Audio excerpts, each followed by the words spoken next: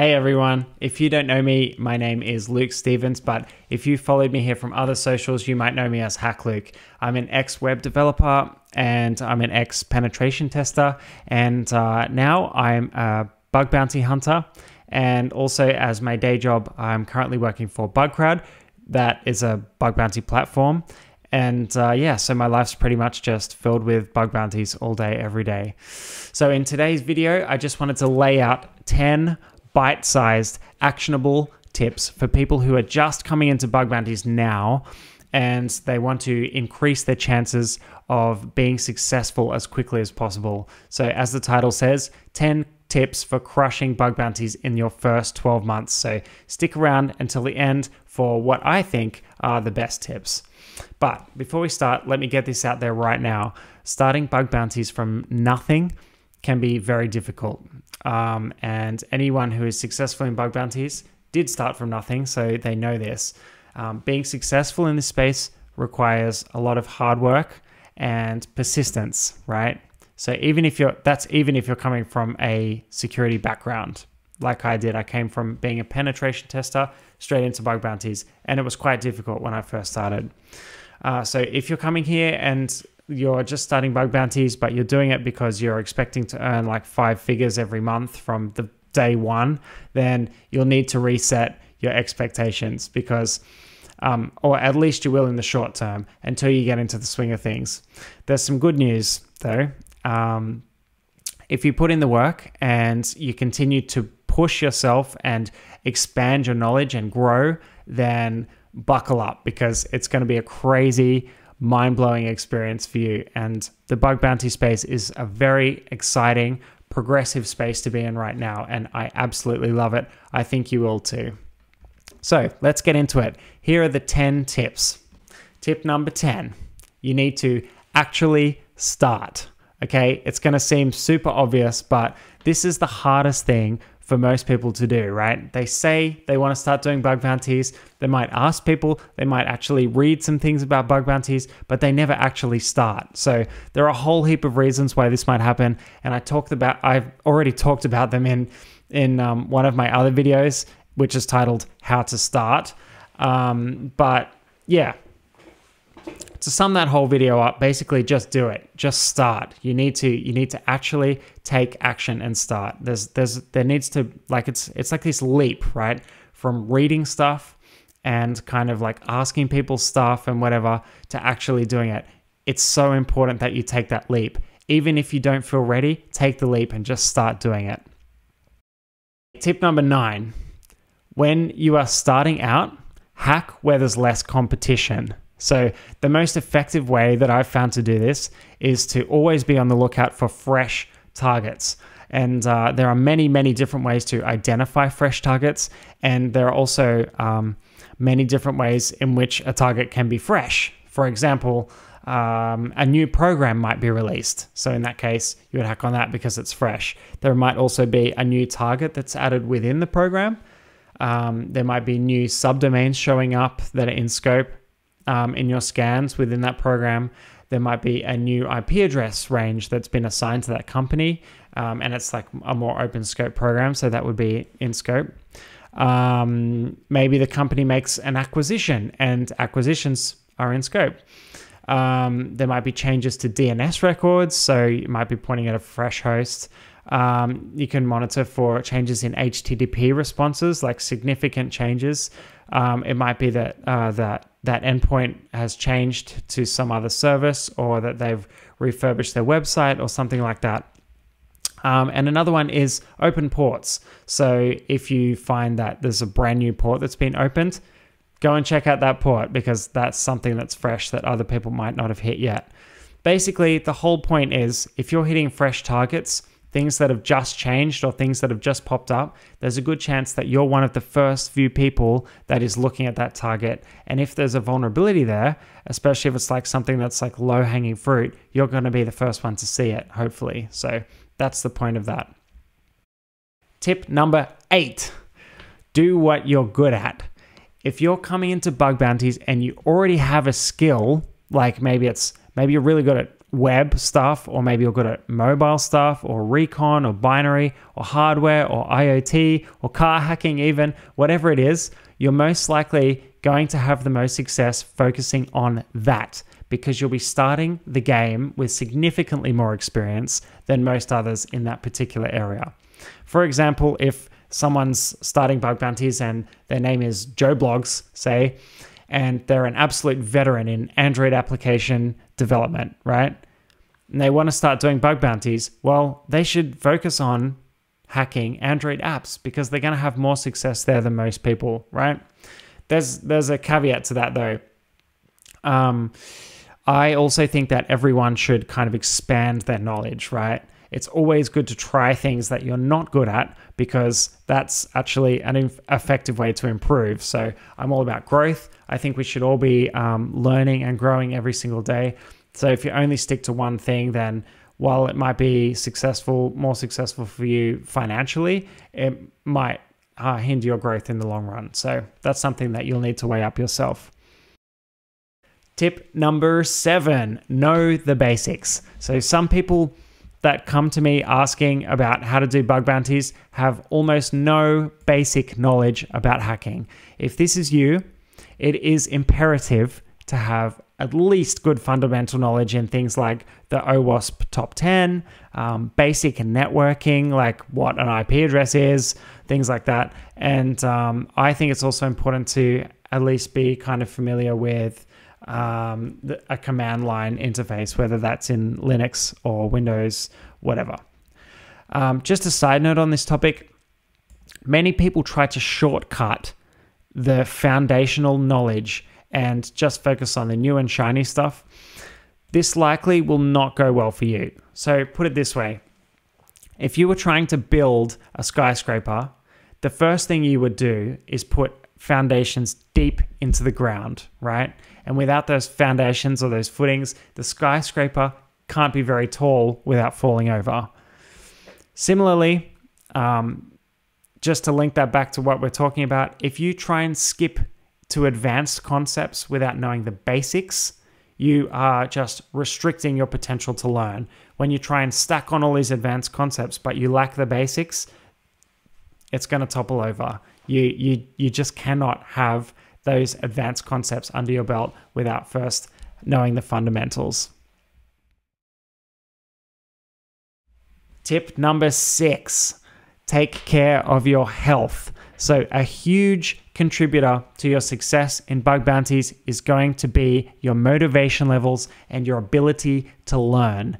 Neither of these things will be at their peak if you aren't looking after your health. So, try to take regular breaks, eat healthy food, get enough sleep, and exercise. That's all I'm going to say on that. There are so many resources out there about avoiding burnout and about um, keeping your mental health good when you're working in IT.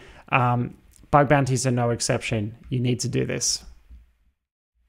Tip number five get involved with the community. So, so much of the information that's helped me to find bugs has stemmed from my involvement with the bug bounty community online. If you spend enough time in that community, you'll notice that there are so many like keen, amazing people who are just like really willing to discuss ideas and concept with you to help you on your journey. So, it's important to remember that community involvement, I feel at least, is is a very important part of um, bug bounties. But in any healthy community, um, we can't just take; we have to also give back. So don't be one of those people who um, is not really involved with the community. They're just kind of like leeching. They're always like getting information from people. It's important that you give back as well. So even if you're a total beginner you can you can write blog posts you can post on twitter you can do a podcast or youtube channel or whatever and you can share things like your progress your any any fears that you have um, your your achievements minor wins things that you're learning um, and any goals that you have sharing those kind of things with the community is super helpful and then um, when you go to take from the community, um, you're not just taking, you're also giving back. So whatever you give, I promise it will come back to you tenfold. That's one of the laws of the universe, right? Tip number four collaboration. So um, I was tempted to put community and collaboration in one point, but I do feel that they're different. And that's because when I talk about collaboration, I'm talking about collaborating with like a few people, maybe one person, two people, three people, whatever. And when I talk about community, I'm talking about your involvement with the bug bounty community as a whole. So now we're talking about collaboration. I have had so much value out of collaborating with a few of my friends in bug bounties. Two or three minds is always going to be better than one mind. It's it's an absolute no-brainer, but it comes with this warning as well. You need to make sure that the people you are collaborating with are the right people. And I think that open collaboration where all parties are equally involved and all parties are kind of giving the same amount of energy and resources to that collaboration, I think that is really important because there are some um, instances that I've read about. I certainly haven't experienced this myself, but um, I've I've heard about other people having these experiences where they go to collaborate and then um, they might give up a bunch of information or whatever um, or techniques or tools that they've written to this other person to collaborate and they get nothing back and the other person's super closed. So make sure that you're collaborating with good people. Make sure that there's like a mutual benefit there and that everybody wins from that collaboration. That is super important. Tip number three quality educational resources, right? When you're starting out, it can be super difficult to know which resources are high quality, good resources that are giving valid information, and which resources kind of suck, right? So I'm just going to recommend two resources that really helped me a lot. I'm not getting paid by them, no affiliate links, nothing like that. These are just two resources that are actually legitimately very high quality resources. Once you've consumed these, you should be able to, I think, um, you'll have the necessarily necessary knowledge to better determine for yourself the quality of any resources that you come across in future. Okay, so start with these two. The first one is Pentester Lab, which is a, a stack of hands-on labs. Uh, each lab will help you to understand and exploit various vulnerabilities um, it's good to know that they actually have some free labs that you can download and try before you sign up for a premium account. So you can really like get a feel for um, the service before you buy it right? The second resource i'm going to recommend is the web application hackers handbook. It's an absolute staple for web app hacking um, and it's just an excellent foundational book for learning how to hack web applications right Number two, automation. So, the reason behind this being so high on my list is simple. Automation, the time that you spend automating things, has an excellent return on investment, right? You have limited hours um, each day or each week to spend hacking on bounties. And when we're doing bug bounties, unlike a pen test, um, we're not getting billed by the hour. We're getting billed by the bugs that we find, right? So we want to find the most bugs possible. Um, so it's important that the things you spend time doing provide the most bugs or the most value back to you. So automation is really good for this because everything you automate, you can do over and over again. You can just get your so your VPS or your computer or whatever to just perform that task over and over again on lots of different hosts anything that you automate like that in the long run is going to save you hours, days, weeks, months, years, whatever. And um, some things simply aren't possible to do manually. If you wanted to check 3 million hosts for a particular vulnerability, you don't want to run that script 3 million times. You need automation to do that for you, right? So, what kind of things should you be automating? I would say anything that takes significant time and can be automated relatively easy. So it depends. You know, if if something takes one second to do manually, it might not be worth automating. If something takes half an hour to do manually and you can automate that, if you spend like a few days coding up some solution to automate that, you're going to save yourself an hour every time you need to do it.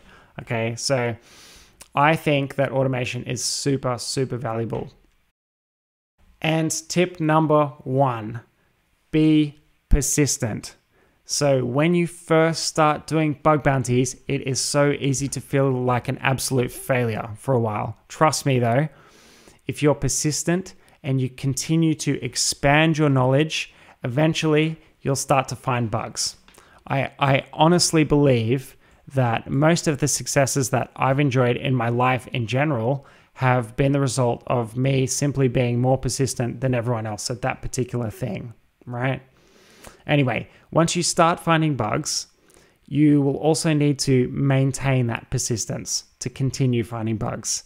And obviously, your uh, capacity and your willingness to be persistent is 100% dependent on not just like your willpower, but a bunch of other things like your physical and mental health. So it's important to take care of those things too, like we mentioned back in one of the other tips.